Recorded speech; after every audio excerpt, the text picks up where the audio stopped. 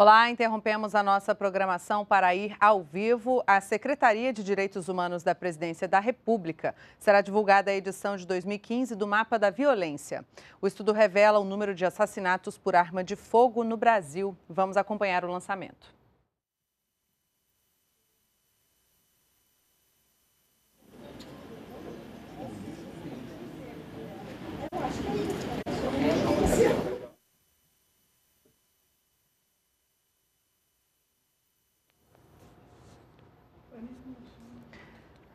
Você acompanha ao vivo aqui na NBR ah, o, lança, o lançamento da edição de 2015 do Mapa da Violência. O levantamento revela o número de assassinatos por armas de fogo no Brasil e faz um balanço dos homicídios no país. O Mapa da Violência 2015, Mortes Matadas por Armas de Fogo, é de autoria do sociólogo Júlio Jacobo. A divulgação do estudo é feita em parceria pela Secretaria-Geral da Presidência da República, Secretaria Nacional de Juventude, Secretaria de Políticas de Promoção da Igualdade Racial, Unesco no Brasil e Faculdade Latino-Americana de Ciências Sociais.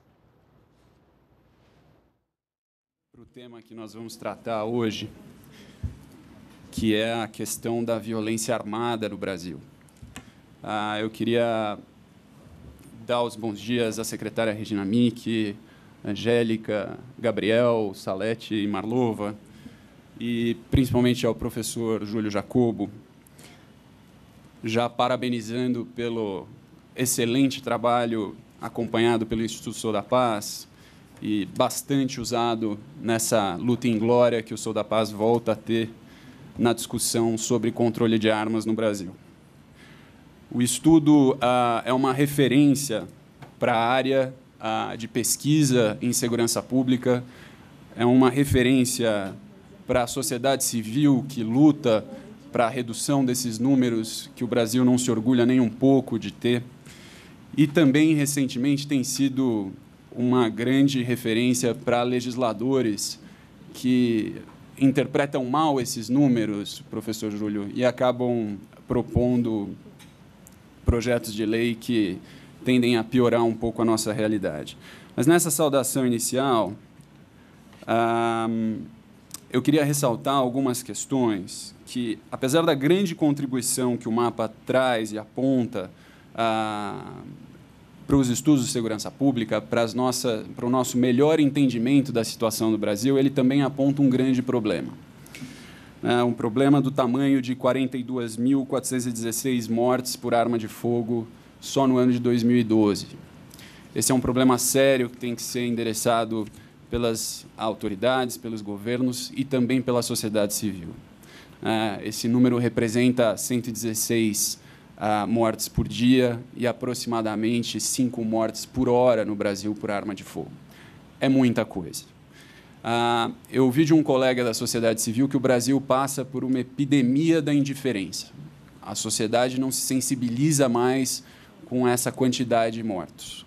E isso precisa acabar.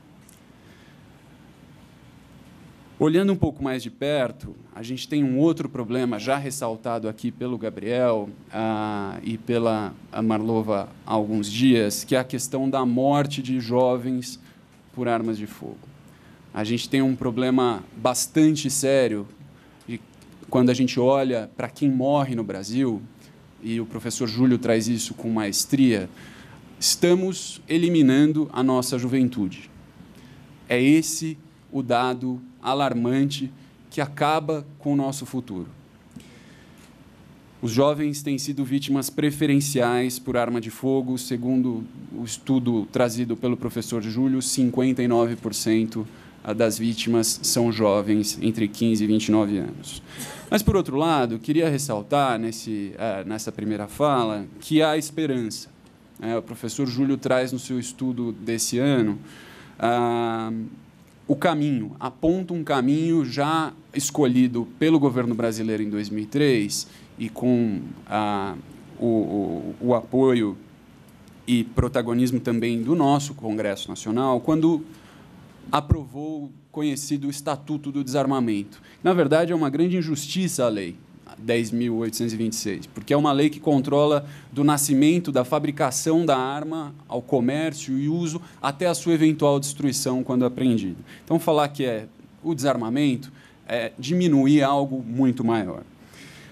Nesse sentido, sem, sem me alongar uh, muito mais, é evidente que o Estatuto e a questão das armas de fogo, como controle, como política pública de segurança pública, uh, não é a única ferramenta para a redução dos homicídios trazidos aqui pelo mapa. É uma delas. O Brasil deu o primeiro passo.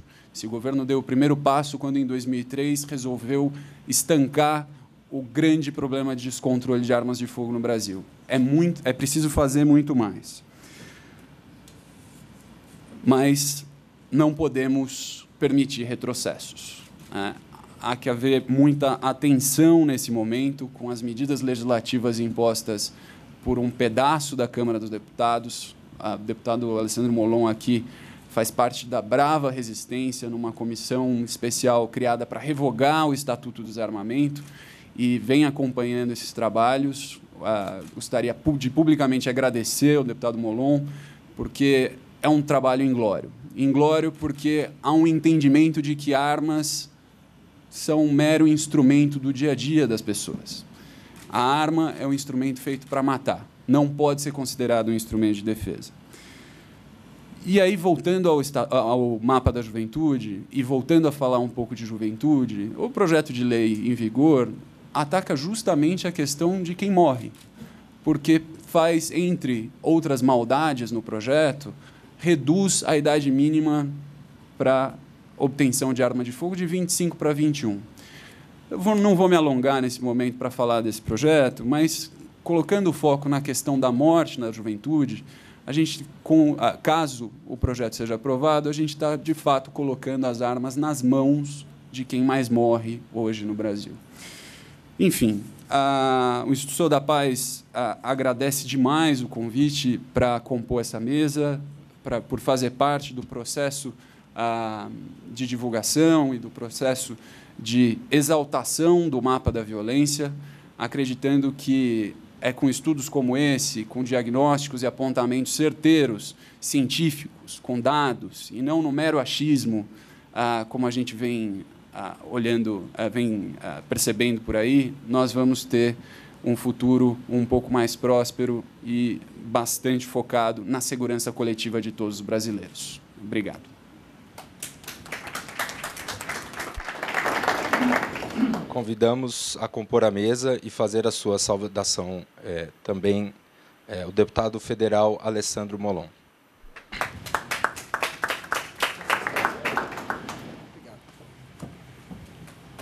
Quero agradecer a gentileza, é, muito gentil da parte da secretaria, quero agradecer a todos aqui, a Angélica, a todos os membros da mesa, o Gabriel, cumprimentá-los, cumprimentar muito ao professor é, Júlio Jacob, agradecer a dedicação dele a esse tema. Eu vim aqui para dar um abraço de muito obrigado em nome dos muitos congressistas que precisam dessas informações para resistir a propostas como essa que que o Ivan acaba de citar, de mencionar aqui para a gente, essa tentativa de revogação é, do Estatuto do Desarmamento, entre outras medidas que, no fundo, fazem com que o Congresso corra o risco de retroceder décadas. Né? Nós estamos vivendo um momento muito difícil na Câmara dos Deputados um momento de reação de reação aos avanços sociais, às conquistas, ao progresso social que o Brasil vem, vem conquistando com muito esforço nas últimas décadas. E, professor Júlio, como eu comentava com o senhor antes do início desse, desse encontro, as suas informações, o mapa da violência é de extrema importância, Angélica, porque muitos querem justificar esses retrocessos com base em dados cuja origem nós desconhecemos. Não é? Mencionam estatísticas que, às quais não temos acesso, citam bases de dados que inexistem, e desconfiam das bases de dados oficiais. Ontem mesmo, um parlamentar dizia na comissão que propõe, que estuda a revogação do Estatuto do Desarmamento. Esses dados do SUS são pura fantasia. É inacreditável, mas um parlamentar disse isso. Os dados do SUS são pura fantasia. Como é possível que alguém diga uma coisa dessa, não é? Então, contra o obscurantismo, a ciência. Contra a desinformação, a informação. Contra as trevas, a luz. A luz do conhecimento, a luz da inteligência, a luz do debate. Por isso, esse evento é de extrema importância. Eu não vou poder ficar até o final, já tenho que sair para o Congresso, já tinha justificado a minha ausência. Então, peço desculpas, mas nós teremos o prazer de apresentar é, os estudos do professor Júlio na quarta-feira da semana que vem, na comissão que estuda o Estatuto do Desarmamento. Ele já está convidado para apresentar o mapa da violência que será apresentado hoje aqui. E vamos torcer, professor Júlio, que as luzes do alto possam abrir as mentes daqueles que, que não querem ouvir a verdade e que estão determinados não a fazer o Brasil avançar, mas, infelizmente, a fazer o Brasil andar para trás. Por isso, parabéns, muitíssimo obrigado ao senhor por toda essa vida dedicada a essa causa e a todos os membros da mesa aqui, que são todos combatentes dessa luta sem armas, dessa luta de ideias, né? dessa luta pelo bem, pela paz. O, o, nosso agradecimento muito sincero e o nosso pedido de que cerremos fileiras aí para evitar o retrocesso e a morte de mais jovens num país em que mata tantos jovens, adolescentes e crianças. Muito obrigado, parabéns e desculpem ter que sair mais cedo. Muito obrigado.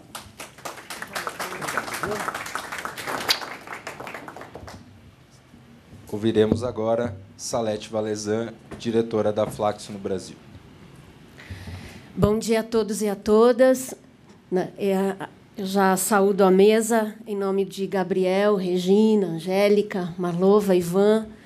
É, e saudando a mesa, saúdo a todos vocês que estão presentes aqui nesse momento e também a quem está ou irá nos assistir é, de suas casas, de suas residências. Como Flaxo Brasil, quero fazer nosso agradecimento ao nosso grande mestre pesquisador, Júlio Jacob, que desde 1900, é, de 1998, incansavelmente, vem fazendo esse trabalho, esse estudo, essa pesquisa, para que a população brasileira, né, não somente o Estado brasileiro, que é o legislativo, executivo e o judiciário, mas que também a população brasileira tenha acesso a dados reais e a dados que podem ser utilizados, no caso do Estado brasileiro, para fazer suas análises, avaliações comparações, reorganizações ou então construção de novas políticas públicas para que a gente possa superar essa imensa desigualdade que nós temos nesse país e, infelizmente, essa imensa é, violência em todos os campos, em todas as áreas. Parabenizar ao Júlio e à Secretaria de Juventude por ter trabalhado nesse ano e ter colocado no mapa da violência de 2015 o foco na, na questão das armas de fogo e o foco na questão das que o aumento de, de juventude, da morte de juventude tem sido um crescente e, em, especi, em especial, infelizmente, essa violência atinge a juventude negra de periferia. Mas é, eu gostaria de frisar que arma não escolhe a sua vítima. Né? A, a vítima, é, que é posta através de quando alguém dispara um gatilho, ela é direcionada, mas também não é direcionada.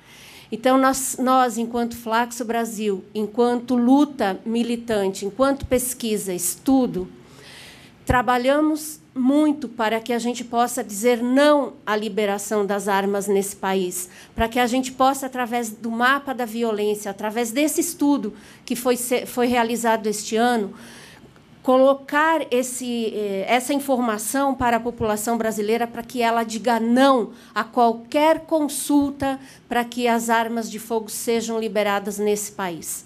É, cito as armas de fogo para que a gente, a partir delas, possa, sim, é, bloquear outras armas que são utilizadas também para cometer violências e assassinatos em nosso, em nosso país. E também dizer que esse estudo, que esse mapa, ele fortalece a nossa convicção de que para, que, que para a redução da violência contra a juventude, a criança e adolescente, nós também precisamos dizer não à redução da idade penal. Não liberar armas e não reduzir a idade penal. Nós, tem, nós precisamos, a partir dele, dizer sim ao fortalecimento dos direitos que já conquistamos, dos direitos humanos, sim a novos direitos que precisam ser conquistados, sim a novas políticas públicas que precisam ser organizadas, fortalecidas e construídas, e sim ao sistema SINASE, que é o que vai nos proporcionar proteger e garantir os direitos da, da criança, adolescente e juventude para que ele seja atendido no campo da educação e da reorganização de sua história de vida. Né? Esquecer dessas questões é deixar as nossas crianças, os nossos adolescentes e nossa juventude à própria sorte. E neste momento nós não podemos mais ter nenhuma morte. Então também dizemos nenhuma morte a mais, nenhuma morte a mais e nenhum direito a menos. E eu tenho certeza que é isso que move né? esse nosso grande mestre pesquisador, Júlio Jacob, todos os dias de sua vida quando ele se dedica a trabalhar numa questão dessa. Então, para nós da Flaxo Brasil, é um orgulho imenso tê-lo na, na equipe na nossa equipe e também é um orgulho imenso poder contar com a parceria da Unesco, das, das secretarias que estão aqui presentes e do Sou da Paz para que nesse momento a gente possa dar início a um novo marco de conquista e de, de mudança da cultura dos direitos humanos em nosso país. Obrigada.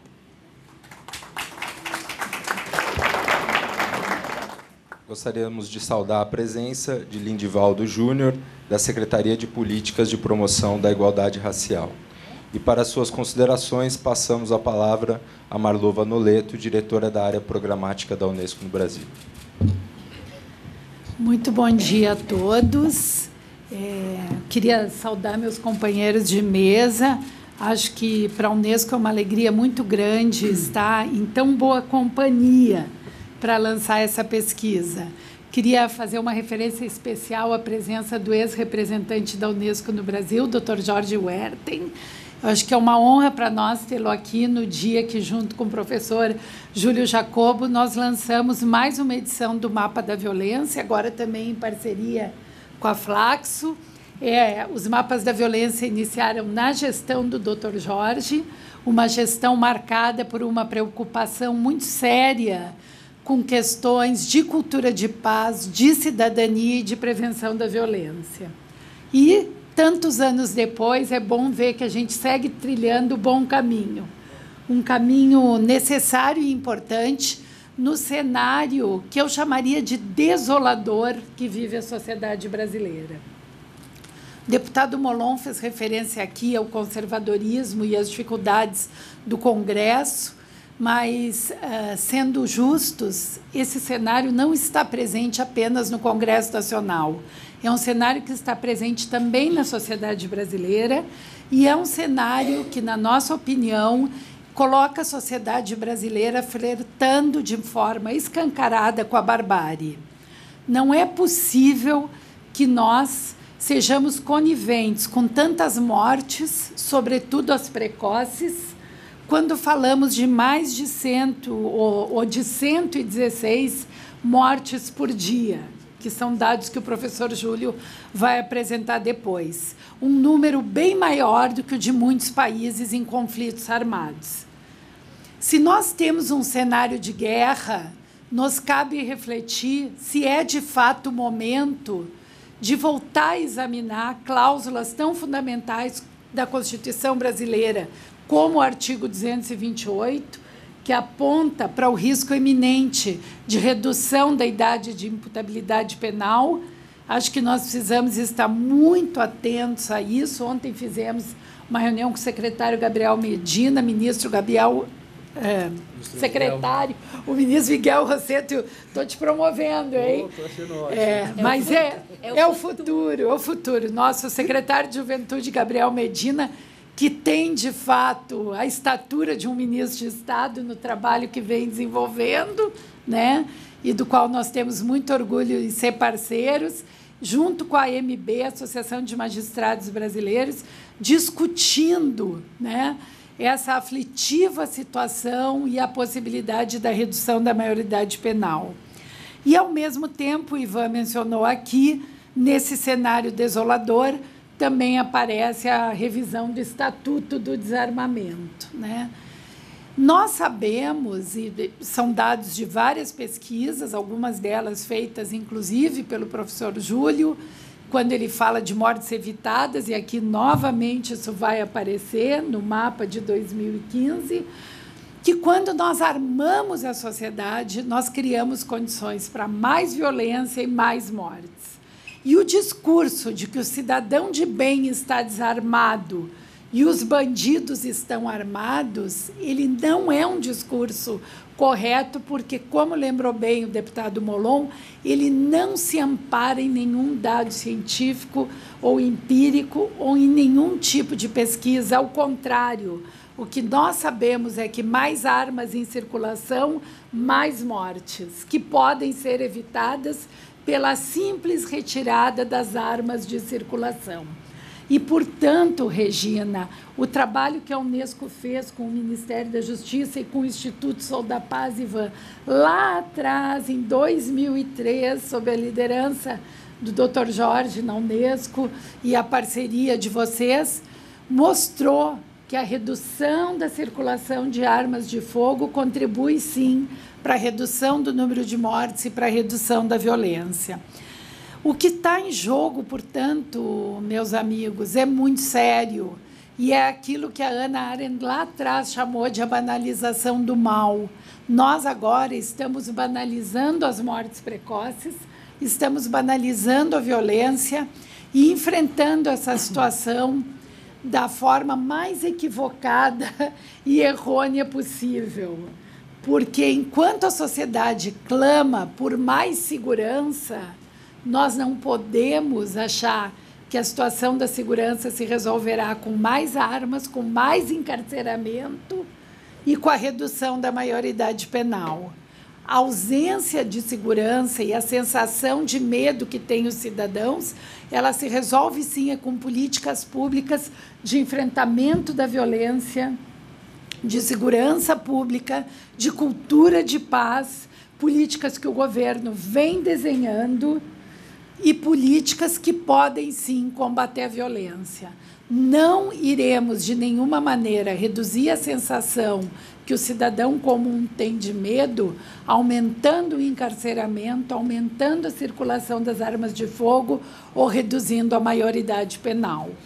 A posição da Unesco nesses três aspectos tem sido muito clara e o sistema ONU acaba de lançar uma nota em que se posiciona contra a redução da maioridade penal e também externa sua preocupação com a revisão do Estatuto do Desarmamento. Então, queria agradecer muito ao professor Júlio, né? a Salete chamou ele de eterno mestre, e também nossa eterna fonte de inspiração.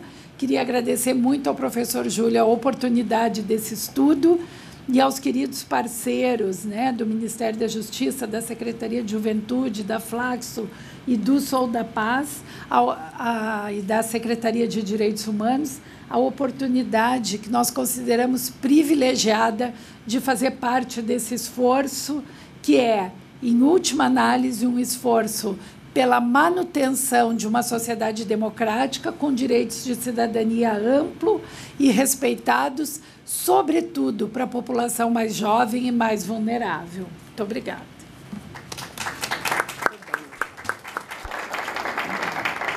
Com a palavra, a secretária nacional de Segurança Pública, Regina Mig.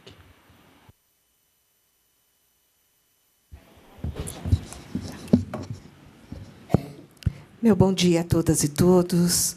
Um bom dia muito especial, professor Júlio. E acho que o senhor não tem que ficar nas praias do Recife, o senhor tem que ficar junto conosco, trabalhando mesmo. Não, não volta para lá, não, fique conosco. Bom dia aos meus companheiros de governo da mesa, Angélica e Gabriel, aqueles que por aqui já passaram e deixaram sua marca, Salete, Ivan, e que continuam conosco, né? Malova e todos aqueles que lutam por causas em que nós nos sentimos, às vezes, na minoria, mas eu tenho absoluta certeza que nós estamos do lado certo, que é protegendo as, as minorias e as vulnerabilidades é que nós é, é o nosso papel enquanto governo realmente. Né? É, nós estamos diante de, de, um quadro no Brasil, Malova, eu, você dizia há pouco, desesperador, e eu até acho que o, o primeiro ponto para a gente é, desenhar uma política pública é reconhecer o problema. O problema existe. Então, ele está aqui, está colocado, está em números, não há contestação. Né? É uma coisa que a CEPIR, é uma coisa que a Secretaria Nacional da Juventude, a Secretaria Nacional de Segurança Pública já vem apontando há, há tempo, né? razão pela qual nós resolvemos é, trabalhar num pacto de redução de homicídios junto aos governos do Estado. Né? Eu tenho afirmado que nós, no Brasil, nós conseguimos um avanço muito grande quando diminuímos a mortalidade infantil.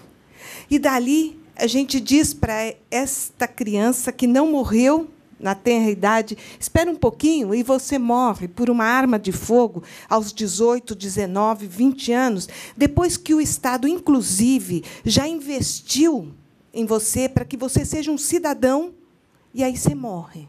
E morre pelo simples fato de ser diferente. Não tem outra alternativa. O crime do ódio ele se instala simplesmente porque a pessoa é diferente.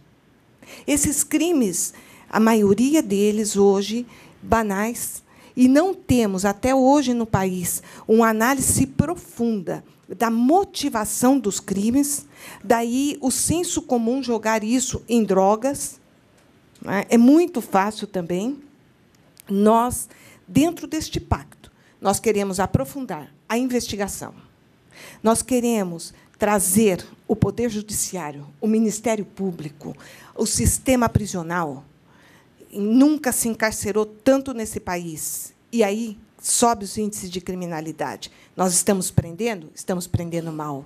Nós temos 80% dos nossos presos, eles estão em, em prisões provisórias.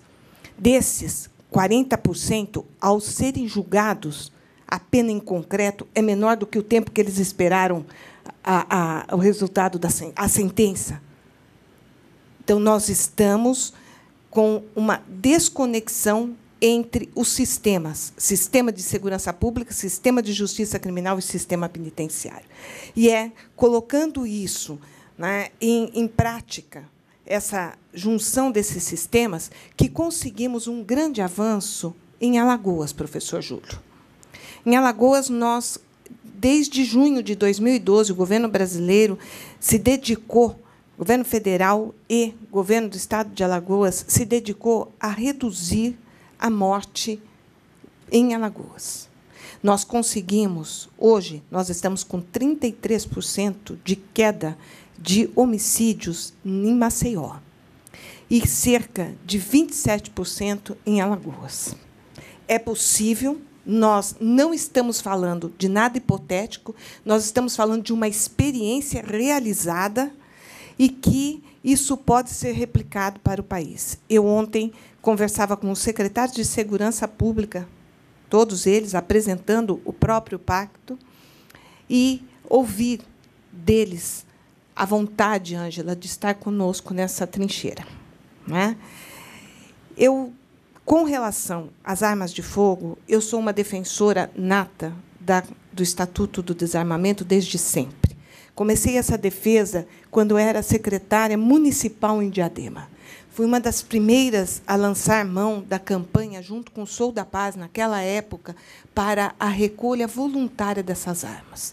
Sem dúvida nenhuma, diminuir o potencial ofensivo da sociedade traz resultado. Né? Não tenho dúvida.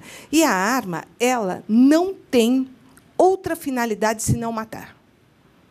Às vezes nos contestam dizendo, ah, mas tem, tem morte por arma branca, que seria a faca, tem morte por acidente. É claro que tem.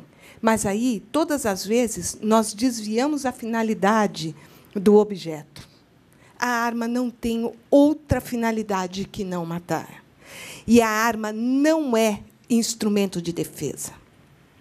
Ela é instrumento de ataque. Porque, aliada ao ataque, nós temos o elemento surpresa, que dificilmente alguém pego de surpresa pode reagir com uma arma. Então, eu não tenho dúvida de que estamos no caminho correto. E também reverenciar aqueles deputados que estão conosco numa luta árdua para a quebra de direitos que eles dizem que é nato do ser humano ter direito à sua defesa. Mas a defesa não está aliada à arma. Nós temos que ter defesa. Mas, para isso, nós transferimos isso ao Estado brasileiro. Então, qualificar o profissional da segurança pública, ter corregedorias atuantes sobre esses profissionais. É possível também. A Força Nacional de Segurança Pública tem atuação de 10 anos.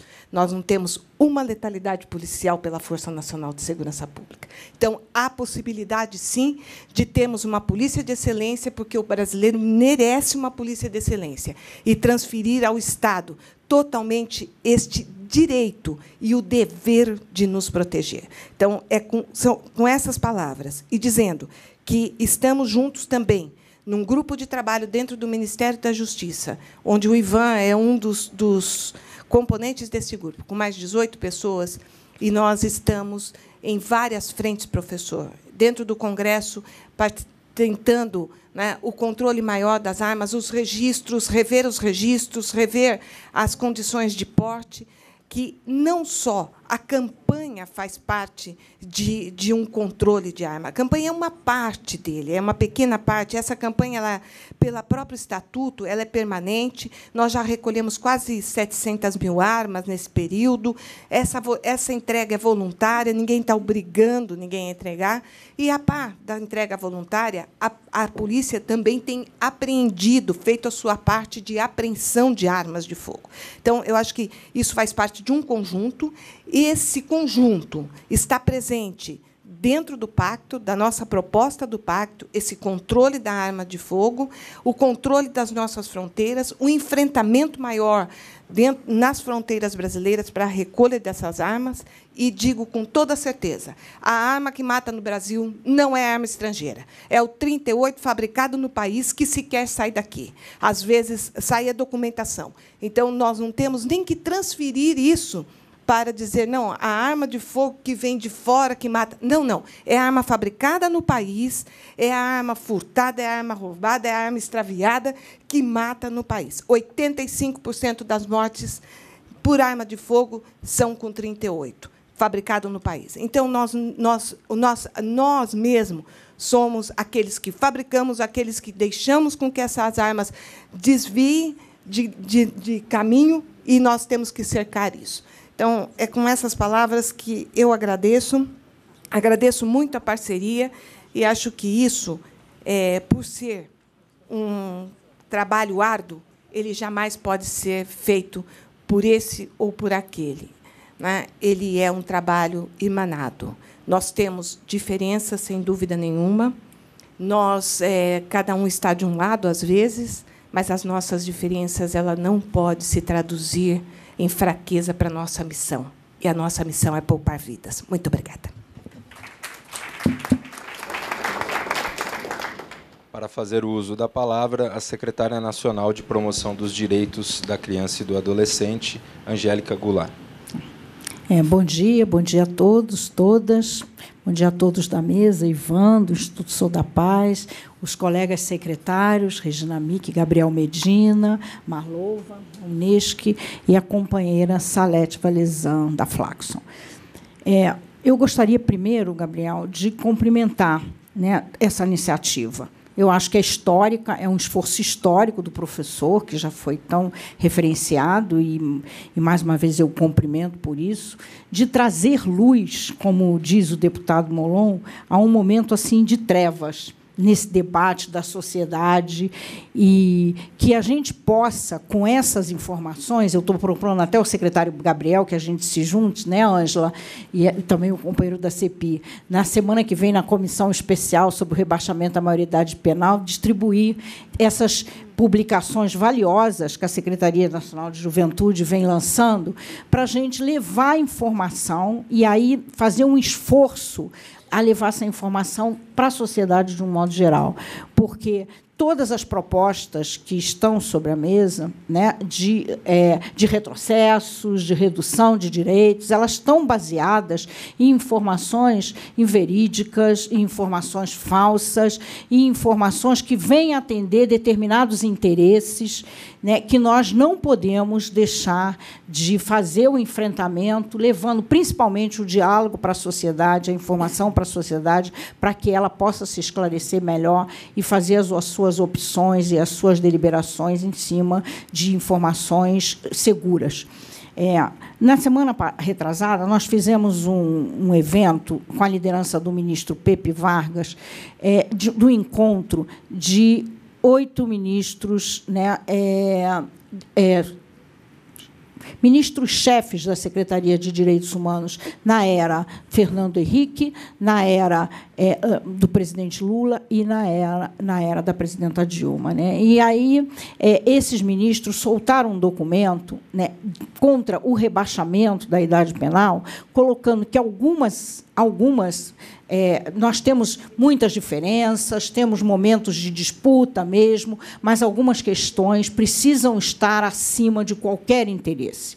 Né? E essa pauta de retrocesso de direito é uma pauta que precisa estar é, contemplada ne, com uma pauta especial que precisa estar acima de qualquer interesse. E aí, é, a contradição que a gente tem, e o ministro Gregory, nessa ocasião, ele fez uma fala muito interessante, que eu acho que vem muito a calhar aqui um pouco do que a Regina está colocando também, em termos de perspectiva.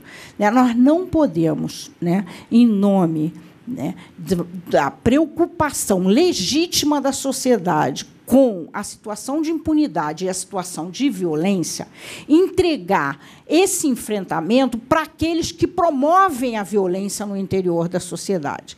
Essa pauta é nossa. O enfrentamento à violência é uma pauta nossa. E nós somos aqueles que vamos levar essa pauta e a discussão dessa pauta é, para toda a sociedade. Nós não podemos entregar isso na mão daqueles que defendem o armamento, que defendem as grandes corporações de segurança privada, né, que há muitos interesses aí colocados que estão completamente invisíveis para a sociedade. Enquanto a gente não consegue fazer amplamente essa discussão, a gente não, não vence esse debate da maioridade penal, o debate do enfrentamento à letalidade das, dos nossos adolescentes e dos nossos jovens, o debate do desarmamento e tantos outros que estão é, praticamente, vamos dizer, brotando à nossa frente. Ontem eu tive anúncio de que o, o Estatuto do Nasciturno voltou à pauta, foi pautado de uma forma inesperada. Então, são muitas as frentes que nós temos mesmo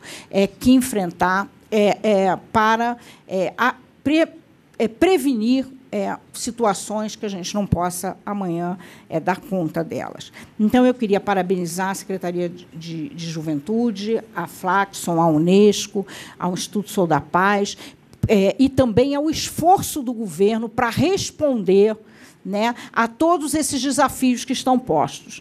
Eu acho que o lançamento do Pacto de Enfrentamento ao Homicídio, com a liderança do Ministério da Justiça e da Secretaria Nacional de Justiça, vai, de fato, é, começar a, a, apresentar respostas para a sociedade né, aquilo que está sendo o seu clamor de resolver, que é a questão da violência generalizada que se instalou no nosso país.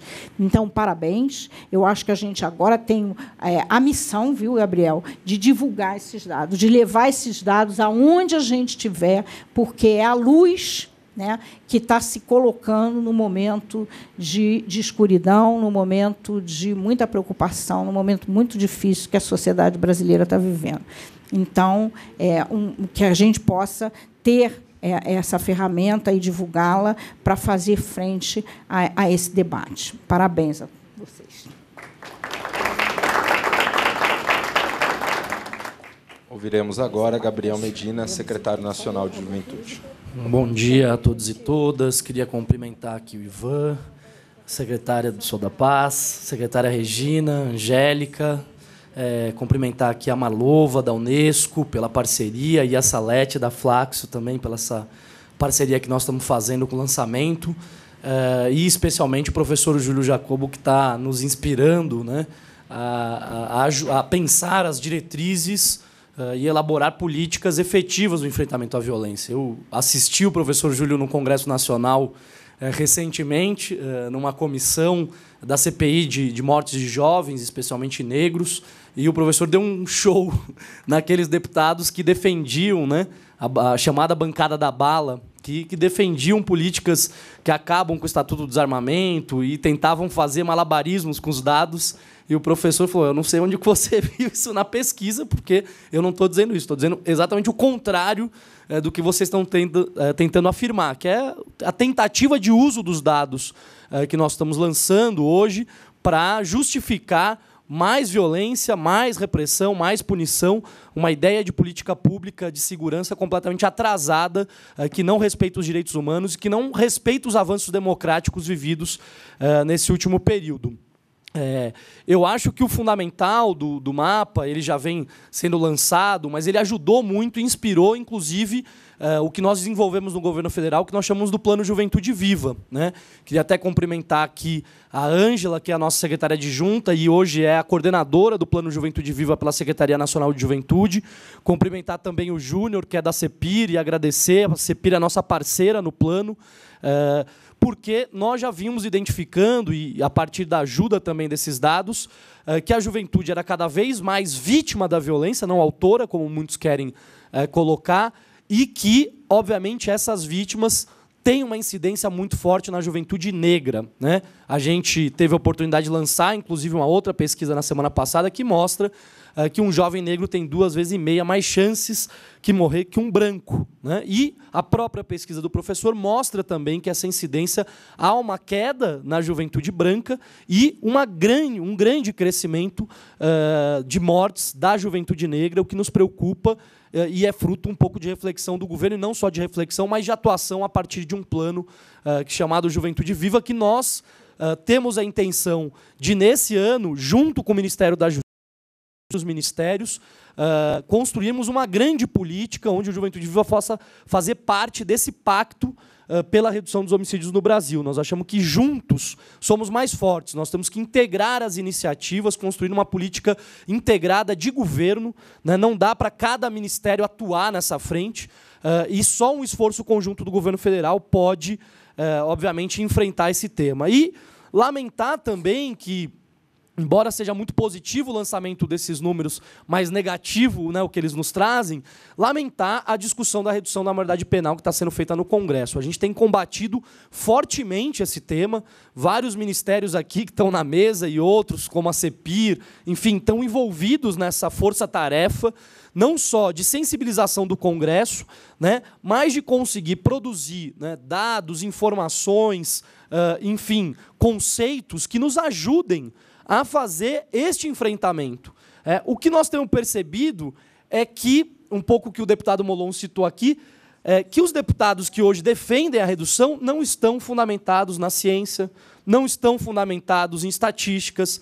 Né? É um desejo movido por um ódio, né? por uma resposta simplista às suas bases, porque nós sabemos é, hoje que, de fato, a redução tem uma adesão muito grande da sociedade, mas os deputados que deveriam ser aqueles né, que deveriam ajudar a pensar soluções, leis, legislações que avancem no campo dos direitos no Brasil são aqueles que hoje respondem de forma simplória, simplista, uh, uh, respondendo de forma muito negativa e equivocada ao que nós estamos entendendo uh, que deve ser uma trajetória de ampliação de direitos, de mais democracia, de defesa de direitos humanos, que é a trajetória que o Brasil vem construindo e que nós defendemos. E dizer que é, o que nos preocupa, mas também deve nos chamar a atenção no sentido de responder com políticas públicas, é que o mapa ele apresenta uma questão fundamental. As mortes elas têm território, elas têm geração, são, afetam muito mais os jovens do que o restante da população, e elas têm cor. Portanto, qualquer política pública que se pretenda enfrentar esse tema precisa ter enfoque territorial, precisa priorizar municípios, precisa ter escolha muito efetiva de municípios. A gente sabe o quanto no Nordeste essa incidência é mais forte. Né? é, ela tem que priorizar ações uh, voltadas à juventude, né? É, porque nós hoje temos uma escola muito precária, ausência de equipamentos culturais e esportivos nos bairros onde essa incidência de mortes acontecem. Então, nós precisamos priorizar o investimento em políticas sociais, porque não se enfrenta a violência com polícia apenas, é, é um fator importante, mas não apenas com polícia que se enfrenta o tema da violência, e ela tem que ter uma política de combate ao racismo como uma questão estrutural. Né? Se nós não enfrentarmos as desigualdades econômicas que afetam brancos e negros, se nós não enfrentarmos muitas vezes o racismo institucional presente nas políticas de Estado, nas políticas públicas, seja na saúde, na educação, dificilmente nós vamos conseguir reverter essa realidade uh, que nós lamentamos hoje, mas que nos serve também de motivação é, para enfrentar é, essa violência contra os jovens, especialmente negros, no Brasil. E, por fim, é, que possamos ser guiados por uma ideia é, de combater essa cultura da violência e construir uma cultura de paz e de defesa da vida, que eu acho que esse é o nosso horizonte que nós queremos construir. Então, obrigado, professor, obrigado a todos os parceiros e vamos seguir nessa trajetória.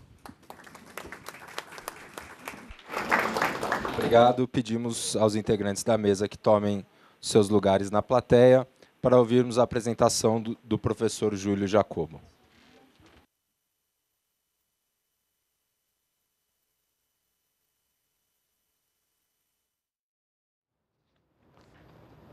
Você assistiu ao vivo de Brasília a divulgação ao lançamento do Mapa da Violência 2015.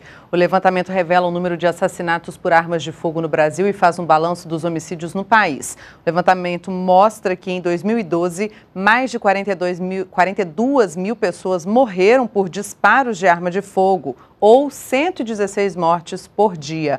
A série histórica do mapa, que vai de 1980 a 2012, mostra que a taxa de mortalidade por armas de fogo ficou em 21,9 óbitos para cada 100 mil habitantes, a segunda taxa mais alta já registrada pelo mapa da violência. Os jovens são as maiores vítimas das mortes por armas de fogo no Brasil. Do total de mortos, 59% tinham entre 15 e 29 anos. E nós podemos voltar a qualquer momento com outras informações. Continue com a gente, NBR, a TV do Governo Federal.